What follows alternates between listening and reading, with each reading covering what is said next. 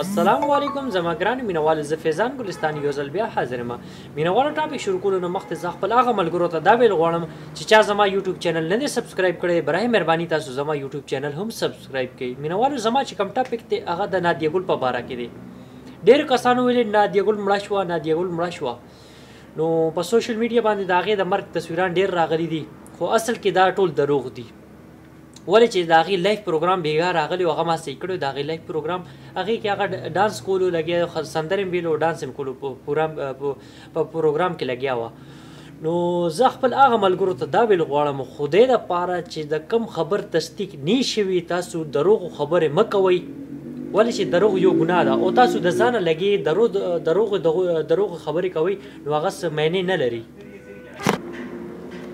اصل کې دروغو ماینس هم نشته تاسو د دروغو ویډیوګانې جوړوي هغه څه معنی نه لري د رښتیا چې کوم خبره وي هغه تاسو کوي نو چې څنګه ما خپل مخکې ویډیو کې مې نادیه ګل ته مې میسج ورکړی هغه ته مال خدای د پاره دا غلط کارونه ته مکوه ته صرف سنگر سه خپل غانې کوه او هغه نه پس چې کوم ته دا کار غلط کارونه کې غلط حرکتونه کې غلط زین د تزي نو هغه ما منې کړې و نو اوس هم زما نادیه ګل ته دا میسج دی نادیه ګل خدای د پاره ته یو پښتنه خزه او تاسو دا کار نه جوړیږي چې کم کارونه تاسو لګي کوي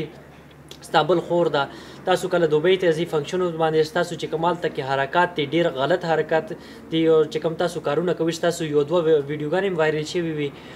نو زه نادیه ګل ته دا ویل غواړم او نادیه ګل خدای د پاره خدای د پاره ته یو پښتنه خزه پښتو ژبه دې ده نو ددې خو لږ عزت وکړه کنه ظالمې ته مسلمانه ښځه یې تاته نه ده پته چې مسلمان چې کوم دي نو هغه څنګه خلک دي ځان دې شرمولې دې ظالم خدای د پاره دا غلط کارونه پرېږي دا دا غلط چې کم ته کلبونو ته ځې او غلط زینو ته ځې ځان د شرمولې دی د پښتانو نوم ته شرمې لګیا خدای د پاره دا غلط کارونه پرېږي دا دینه اسم نه جوړیږي ته خپل آخرت برباد کې خپل ژوند په برباد کې مکوه دا غلط کارونه دا تا د پاره سخن نه لې خنشتا نو ته د دې په ځای دا د غانو په ځای ته ناتونو وې ډېر کله خبره ده او زه خپل هغه ملګرو ته دا ویل غواړم چې څوک په نادیه ګل باندې د دروغ ویډیوګانې جوړي چې دا مړه شوې ده دا مړه شوې ده انتقال شو چا وجله نو خدای د پاره غلط ویډیوګانې مې جوړوئ تاسو غلط افواګانې مه پیلاوئ ولې چې دا دروغ چې کم دی نو هغه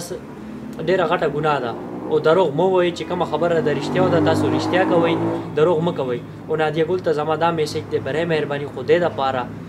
خدای د پاره دا غلط کارونه پرېږده دا تاسو سره ښه نه ښکاري مینوالو چې زما ویډیو ستاسو خوښه شوی نو لایک یې کړئ خپل کمنټ راته راولېږئ چې کوم رونو زما چینل نه دی سبسکرایب کړی هغه ته زه يو ځل بيا ريکويسټ کوم تاسو زما چينل هم سبسکرايب کړئ ورسره بيل ايکن هم پريس کړئ والسلام.